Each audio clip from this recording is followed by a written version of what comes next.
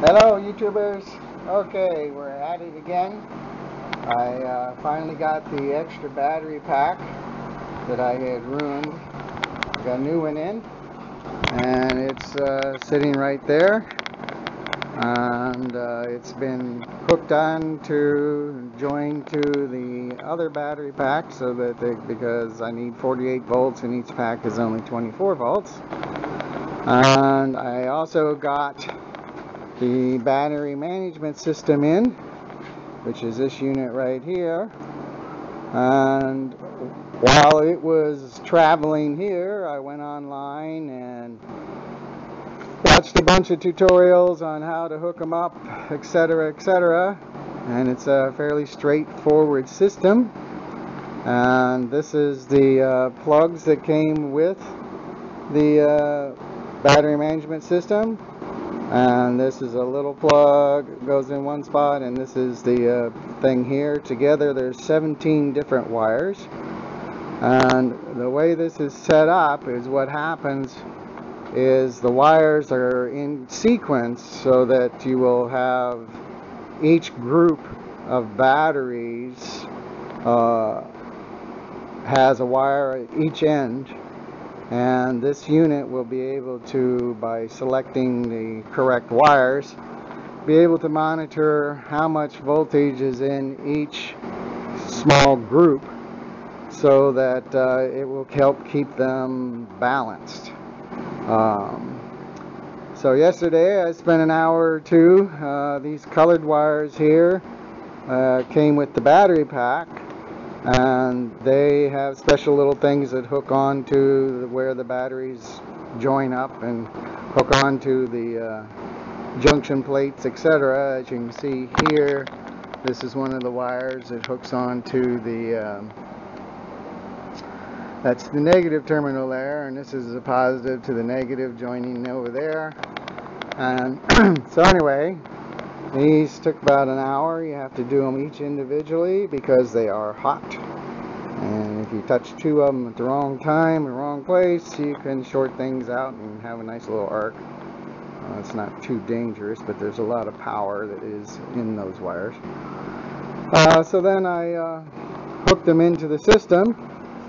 And as you can see here, there's a port for the 15 or so wires and then the port for the little two wires.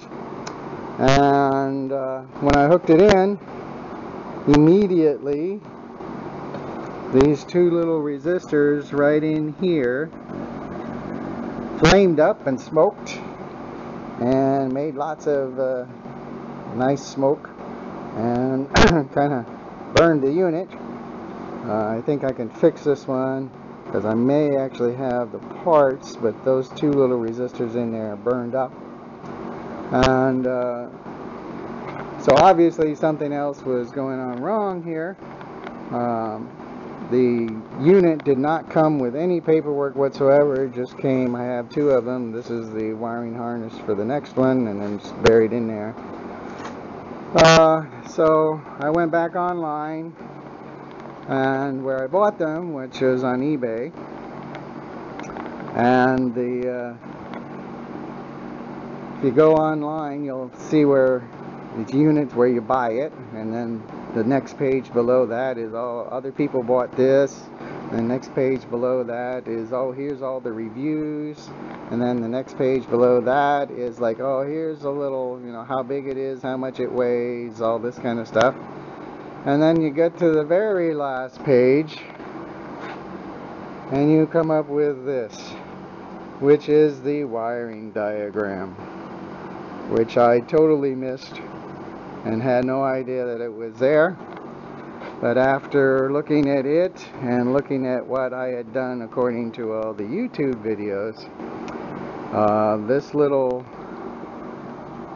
piece of this little baby clip right here I thought was used as a reference voltage. And all the wires are hooked up in sequence according to that. And according to their wiring diagram this is supposed to have three volts somewhere around three and a half volts on it. When I plugged it into the unit, it actually had 67 volts on it. So obvious why it uh, burned the two resistors. And now I have to go back through using their diagram, which is this part right here. And it starts the sequence with the little clip and then continues the sequence with the larger number. So even though the wires are hooked up in the correct order, they're in the wrong slot, should we say. So basically I have to start all over, which is what my project is for today. And then I can plug it in and uh, let them balance out before I hook them into the actual system. But uh, so just to let you know that, yep, I screwed up again. And uh, now that I have the wiring diagram, I should be able to uh, correct the mistake. Uh, the units were only about, uh, well, by the time they got here, about 100 bucks a piece. So another lesson that I had to pay for, but uh, it wasn't as expensive as the blown out battery pack over there. And this should work itself out now. But just to goes to show you that you think you have all the information, but you don't. But how do you know you don't until you don't know you don't, or whatever. So anyway, that's where we're at. Um, I have the new unit on order, so it'll be another two weeks before all this gets hooked up again. But I'm going to wire up the battery packs and hook them up together and uh, have everything ready to go once the new, new unit shows up. So that's where we are with the battery system and the off-grid system. Uh, another delay, but uh, that's, that's life, I guess. But this time I'll do it right. Alright, take care.